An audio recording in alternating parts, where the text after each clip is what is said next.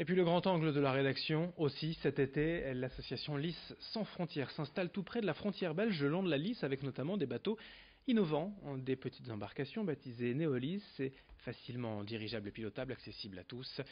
Euh, Idil Gunay est allé essayer en balade avec la directrice de l'association Valérie Grimbert. Quand on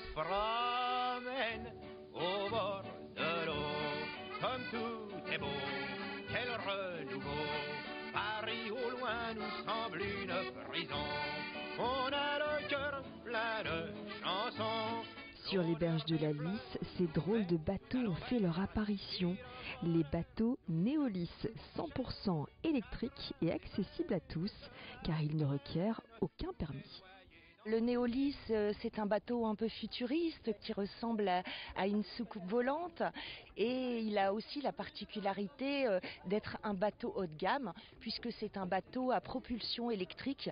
Donc il est 100% euh, écolo et il ne détruit pas les berges et préserve l'environnement. Donc vous êtes en parfaite harmonie avec le milieu qui vous entoure.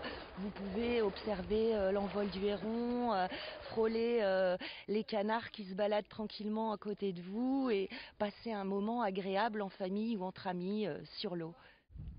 Pour 30 euros de l'heure, une famille de 4 personnes peut ainsi s'adonner au plaisir de la navigation.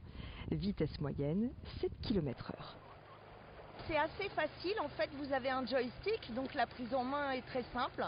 Et donc, si vous poussez la manette, vous allez tout droit. Si vous la poussez à droite, vous allez à droite. Si vous allez la pousser à gauche, vous allez à gauche.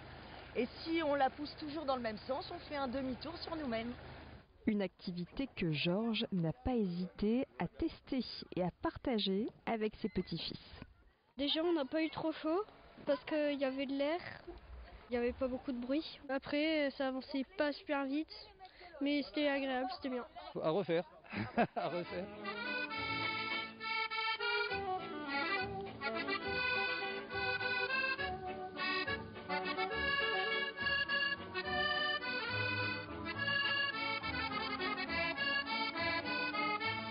Voilà pour ces bateaux néolis le long de la Lys, près de la frontière belge. Merci de votre fidélité. D'autres infos à suivre dans un instant, vos prévisions météo, puis un nouveau journal dès le prochain quart d'heure.